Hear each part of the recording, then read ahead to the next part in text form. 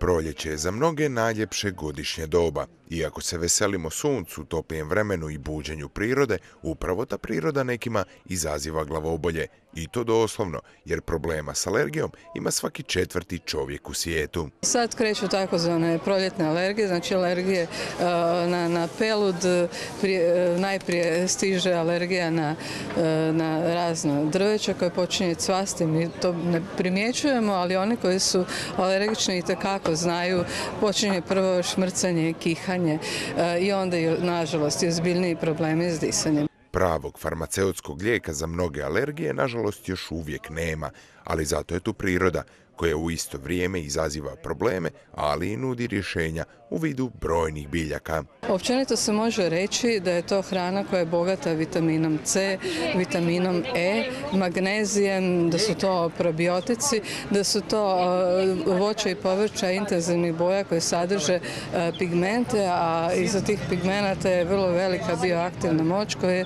prije svega uh, pospješuje naš imunološki sustav, znači borbu ove protiv tih svih bolesti, a osobito je to važno kod alergičara. A dio toga mogli smo pronaći u malim zalogajima i napicima pripremljenima u sklopu još jednog zelenog četvrtka na Osječkoj ekotržnici. Zeleni čaj koji se ponovno afirmira kao ovaj napitak koji bismo trebali što češće konzumirati.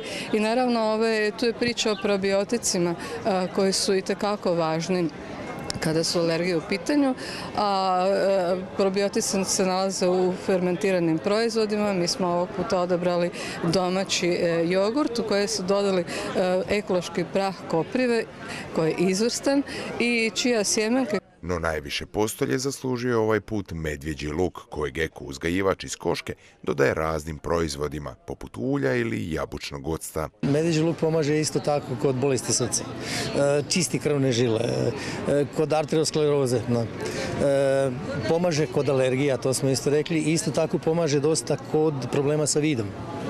I još ako neko ima malo vremena nek pogleda na internetu, jer popis onoga što može riješiti sa, medvjeđim lukom je jako velik a radi se i o samonikloj biljci koju možete potražiti u našim šumama. Prepoznati ga je jednostavno. Protrljajte njegove listove i osjetite li miris sličan češnjaku, pred vama je medviđi luk.